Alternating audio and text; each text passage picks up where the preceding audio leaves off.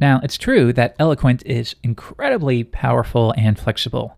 So, yes, you can fetch all posts, but you can also add conditions. You could add left joins if you want. You could group the results by. So, as long as you have some basic experience working with SQL, you should be able to migrate it over. But still, at the same time, there might be situations where you need a very specific query. Maybe something like this. Uh, well, first, let's go to our blog. Now, you'll see this archives section. We can see how exactly would we populate that? Because it sounds like we would need to do a database query to fetch the posts, but then group them and sort them according to each month. How would we do that? This is tough for newcomers. Well, let's think about it. Uh, I'm going to go to the query section in Sequel Pro. Here's all the posts we have right now. Now, one thing we could do is we could say select year. So format the created at field as the year from posts and run that. And now we get the year for every single post. But notice the column name. Yeah, let's give that a better name. We could say as year or just simply year. And now we have a column name. Okay, so we could do that. But I need the month too. So I could say month created at and call that month 112. So January, January, February. Or we could do month name. Okay. But next, I also want the total number of posts for that month. So ideally, you'll see that I updated this one to be a month from now. So ideally, we'd have two for January and one for February. Okay, so it sounds like we need to get the total count of the records, and we'll call that published. So now, if we run that, uh, we're going to get an issue here. Select list contains a non-aggregated column. So yeah, here's the idea. We're trying to get the count, but the count of what? Because if you think about it, we don't want a count of three. We want the count grouped according to the year and the month. So again, one for February and two for January. So let's do this. Let's group the results according to the year and the month and give that a refresh. And there we go.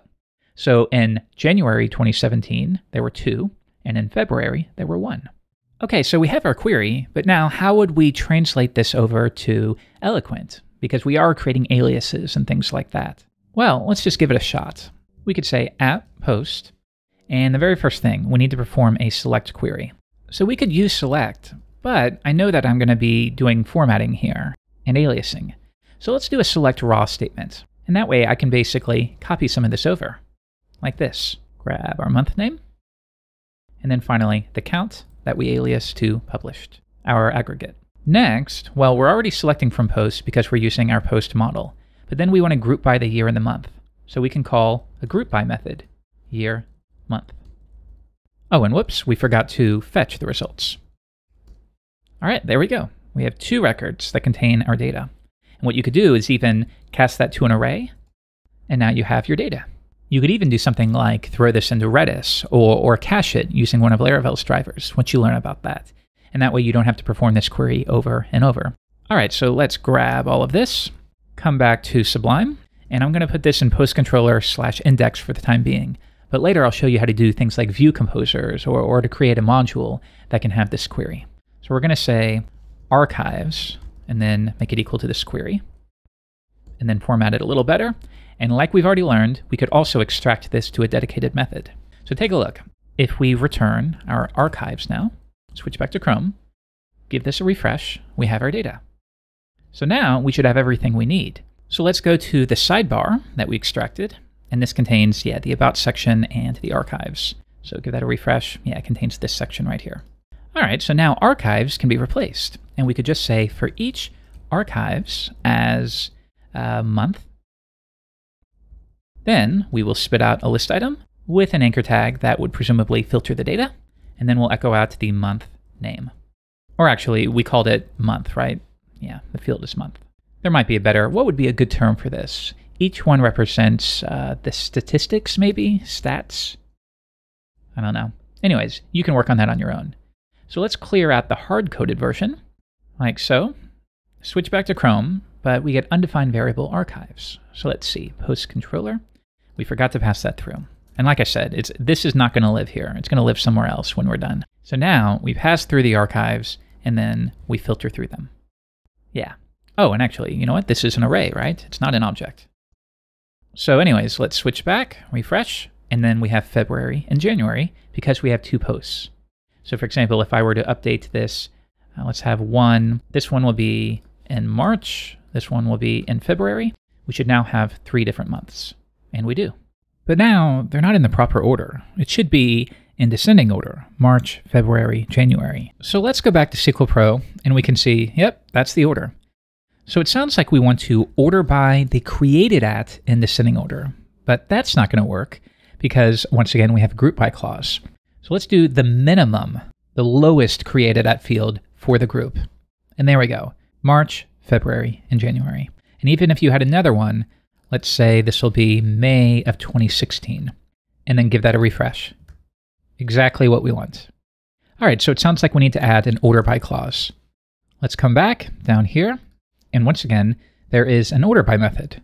But in our case, again, we want to use these functions here. So in these cases, we're going to use order by raw. Okay, so let's come back, give it a refresh, and there we go. March, February, January, May. And we should also add the date while we're at it.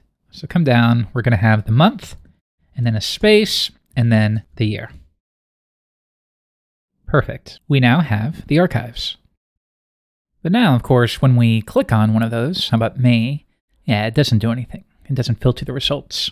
Okay, so let's figure that out, and then we'll call it a day. So let's see. Maybe the anchor tag, following a, a typical blog, it'll link to the homepage, but then we're going to pass through these uh, through the query string. So for example, I could say month equals stats month, and then the year will be stats year. Okay, let's give that a refresh and try. So now May 2016, yeah, we're sending through the query string here. So now maybe it's a simple matter of just checking to see if those exist, and if so, we filter the query accordingly. Maybe something like this. Let's go back to our post controller. Yeah, we're going to have to tweak this. So ideally, um, here, here's what we could do. We could say, we could build up the query one at a time. So we could say something like this. If we have request month in the body, then we could say posts, and there is a where month helper function that will exist on uh, Laravel's builder class. So we could use that. We could say where month, where the created at column is equal to the given month. So maybe save that. And if that's not null, filter it down. Next, we could do the exact same thing for the year. But there is actually one thing. Post where month, it's not expecting May, it's going to expect a number. So for example, if I hard code this in, 5 for May, and then we'll just say post equals post, and then give me the results. And then, oh, whoops, we forgot to update this. There's a where year method as well. So anyways, if we come back to Chrome and give this a refresh, sure enough, we get exactly one record that was released in May. And if we go to March, well, once again, we're hard coding that. So we do need to somehow convert, in this case, um, March to 3 or May to 5. Now, we can do this with PHP state time, or I'm really comfortable with Carbon at this point that Laravel includes out of the box. And you've already learned a little bit about it because we learned that, for example, the created at and updated at fields are instances of Carbon, which is cool. So you already have some awareness of it. We could say Carbon parse the month and then give me the month name.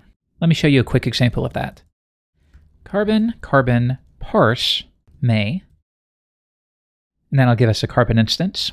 But then I could say, well, give me the, I'm sorry, give me the uh, month, which is 5. Give me the year, is 2017. And the day is the 20th. Okay, great. So we're just going to convert that into the month number. So now if we come back and give it a refresh, we can see only the posts that were published in March. Let's make sure that works. Let's change, how about uh, this one? And this will be on March 19th. Okay, refresh, and now we see two records one in January and then one in May 2016. Okay, so that works and it's simple. Um, what you may want to do, this can get kind of messy. You can see it starts to feel a little gross. From my experiences, uh, a good metric is to let the grossness guide you towards refactoring, uh, rather than maybe following specific patterns you've read about. You you keep it as simple as you can until it starts to feel uh, a little gross to you. So at that point, you could refactor.